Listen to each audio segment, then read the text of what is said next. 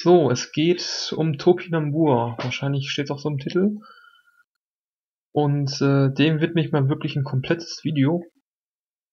Topinambur für die ähm, schleimfreie Heilkost oder schleimarme Kost oder wie auch immer, basische Heilkost, ähm, ist extrem geeignet, weil sie enthält keinerlei Stärke.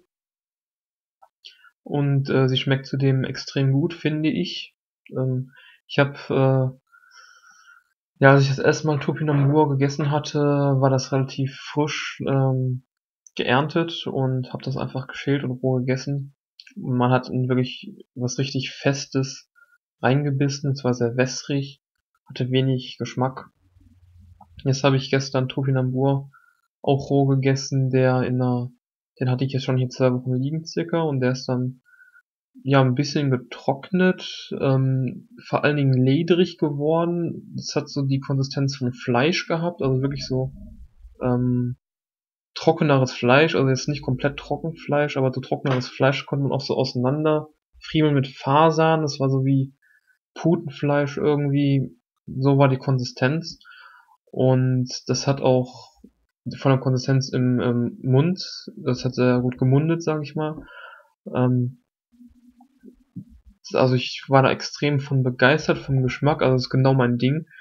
Ähm, sowas und wie gesagt, halte ich es, halte ich diese Pflanze und dieses Nahrungsmittel für extrem wertvoll, weil die, weil die wirklich keine Stärke enthält und wenn man jetzt zum Beispiel ein ganzes Kilo davon essen würde, also ein Kilo Topinambur hat erstmal nur 300 Kalorien, das passt dann in dieses Konzept der ähm, dieses kalorienreduzierte Konzept, das ist aber jetzt überhaupt nicht das Wichtigste ist. Ähm, man kann die halt auch wirklich braten wie Pommes, äh, backen wie Pommes oder halt auch braten, ähm, am besten backen.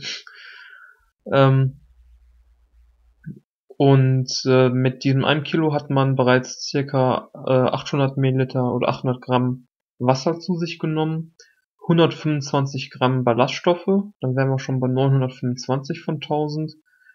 Ähm, andere 25 Gramm sind Eiweiß. Also auf 300 Kalorien 25 Gramm Eiweiß ist auch extrem gut.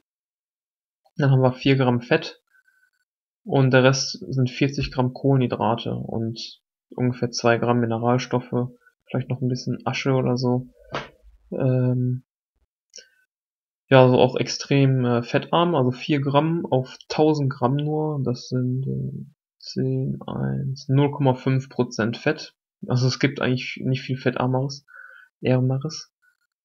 Und die 40 Gramm Kohlenhydrate auf ähm, 1000 Gramm oder 4 Gramm auf 100 Gramm, was ja auch sehr wenig ist. Das sind ja auch nur 5 Prozent, 4, 4 Prozent natürlich. Ähm, die bestehen zu 2,9%, also so circa ähm, äh, zwei Drittel aus, äh, ne, Quatsch, aus drei, drei oder zu drei Viertel, Entschuldigung, aus ähm, Oligo- oder Polysaccharide. Zum größten Teil meine ich, oder ich weiß jetzt gar nicht zu welchem Teil, auf jeden Fall ist halt Inulin enthalten und das ist ein Polysaccharid, aber der ist ähm, unverdaulich, ist ein unverdaulich, unverdauliches Polysaccharid und wird deswegen auch als Ballaststoff betitelt. Das heißt, es bleibt nur noch ein Gramm übrig von den Kohlenhydraten und das sind, äh, ich meine, das wären Monosaccharide gewesen. Ja, Zucker. Schmeckt auch süßlich etwas. Und ja, keine Stärke. Kann man roh essen, schmeckt roh super. Kann man zur Not aber halt natürlich auch ähm, kochen oder dünsten oder backen oder braten, wie auch immer. Brot herstellen kann man daraus äh, sehr gut, auch Rohkostbrot. Und ja, ich bin auch vom Geschmack sehr begeistert und es, es ist sehr eisenreich. Also wenn man jetzt ein Kilo davon essen würde, hat man 37 Milligramm Eisen zu sich genommen. Der Tagesbedarf ist ungefähr bei 14 oder 10, wenn überhaupt. Bei Rohkost dann sowieso weniger. Das heißt, bei Eisenprobleme also Mineralprobleme sind, haben öfters mit einem geschädigten Darm zu tun, da bringt es eigentlich nicht viel, sehr viel Eisen oder irgendwelche anderen Prä Präparate zu nehmen. In manchen Fällen funktioniert es natürlich schon. kann man auf jeden Fall mal ausprobieren. Ist auf jeden Fall extrem eisenhaltig, kalorienarm, wie gesagt, sehr ballaststoffreich, sehr wasserreich, schmeckt ein bisschen süßlich, keine Stärke, schmeckt sehr gut. Also ist auf jeden Fall noch besser als die Süßkartoffel, sag ich mal. Ja, da wollte ich nur kurz ein eigenes Video drüber machen, weil ich mal wieder begeistert war. Bis zum nächsten Mal. Ciao.